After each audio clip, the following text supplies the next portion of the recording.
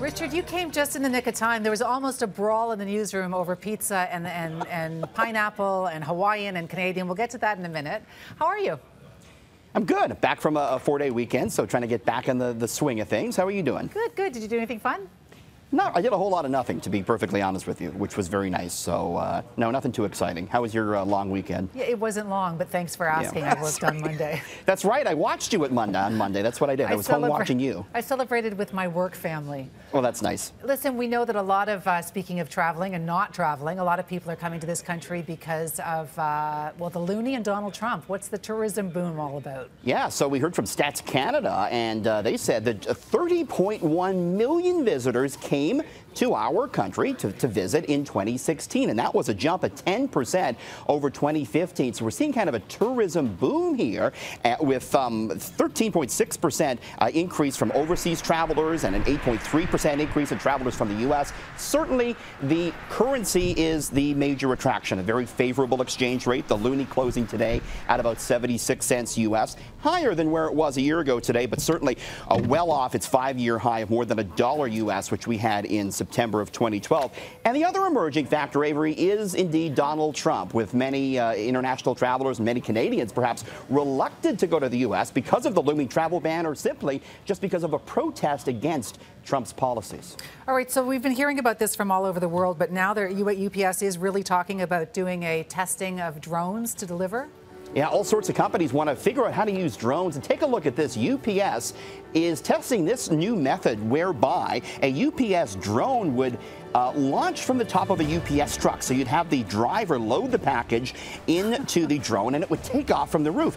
And uh, the human driver then, Avery, would go off and make more deliveries while the drone drops off the package. So the idea is for the drone and the human to work in tandem to deliver packages more efficiently and, and faster. And this would be especially useful in rural areas where, you know, homes are further apart. UPS said if they implement this, they could save $50 million per year. So you're seeing all sorts of companies now trying to figure out how to use those aerial drones. Well, I was going to say useful in rural or only useful in your rural because I can't imagine all these drones flying around downtown Toronto either. Yeah, hitting a skyscraper or telephone lines or what have you. But it'll be interesting to see how they figure out those little details, Avery. All right, well, you were mentioning this earlier, but now it's official. Tim Hortons uh, is going to buy Popeye's chicken. This deal, though, uh, just the beginning.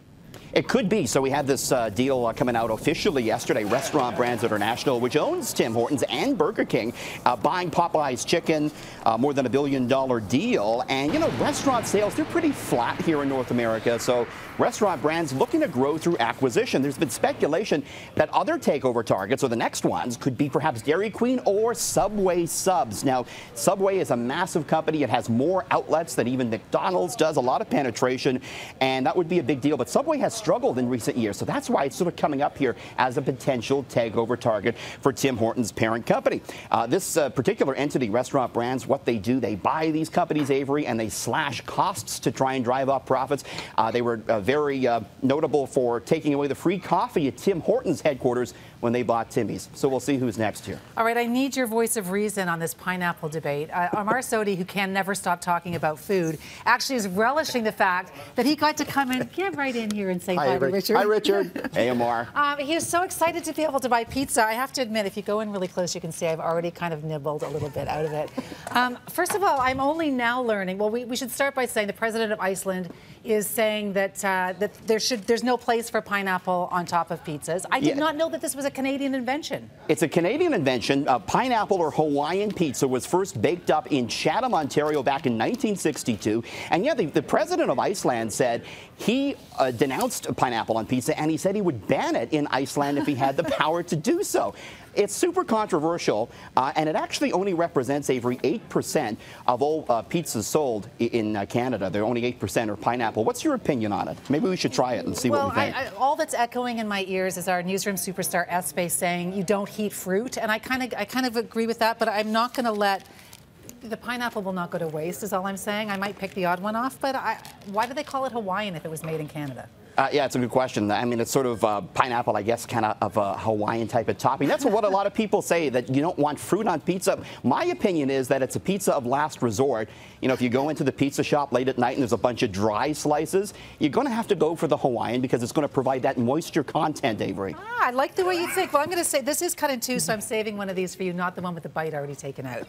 Uh, let's talk about Judge Judy. She's already the highest paid TV star, but uh, she's looking at even more money.